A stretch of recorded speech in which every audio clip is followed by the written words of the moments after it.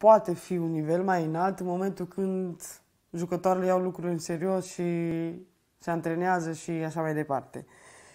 Doi la mână, organizarea nu mi se pare, nu știu, uh, cum să zic, uh, ok. Pentru că um, am început, am stat trei luni din noiembrie până în, până nu știu când am început, trei luni de zile pauză n-am avut în viața mea. Eu care obișnuită veneam pe fugă acasă două săptămâni, vezi familia, am zis, pleacă înapoi. Uh, nu există respect. Deci asta mă, nu știu, mă deregla puțin pentru că, ți-am zis, în teren fustră nervi, ce vrei tu, dar să auzi președinții, antrenorii de pe bani să strige, să te facă și tu să zici băi, e un meci oficial? Jucăm într-o chestie organizată, știi? Nu, nu, nu, nu pot să, nu știu, mi-e greu. Sau să vin acasă și să aud, da, că la au făcut nu știu ce. De unde, frate? Ce, cine? Ce? De ce? De ce vorbiți? De ce? Și mereu e chestia asta cum pus între ei, știi? Și mie mi se pare normal. Dacă, bă, sunt 12 echipe, 13 echipe. Fiecare echipă e cum e.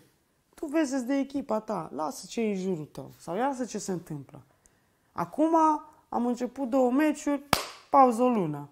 Pe ce bază? Chiar zilele trecute am avut un interviu la radio. Păi de să știu. Am înțeles că cu vaccinurile, nu vaccinul, scuze, cu testele, cu... cum să faci? Națională n-ai nimic. Deci eu am venit, cred că din câte luni am 8, 5 am stat. Mă refer că nu au fost competiții. Dar am noroc că nu pot să stau. Și am început să fac eu, individual, cu... Am mai avut cu Vlad, cu Nicoare, cu... Că altfel ce făceam?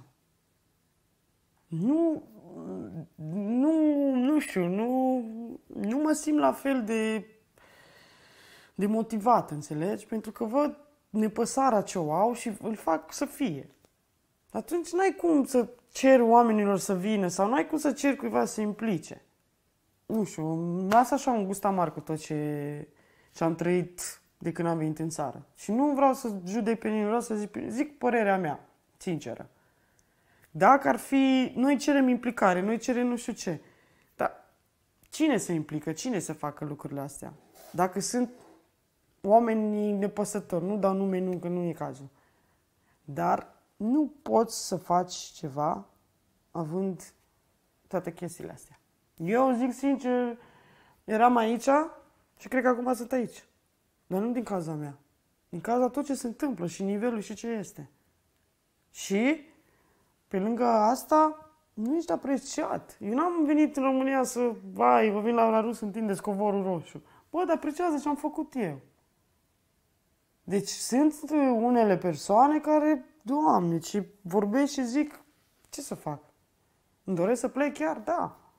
Din păcate, este adevărul. Și sincer, mă așteptam să vin să rămân de tot acasă, dar din păcate nu, nu cred că... Că dai seama că și m-aș bucura să fiu aici acasă, să fac ceea ce iubesc, să fiu în casa mea, să am prietenii, familia, dar nu.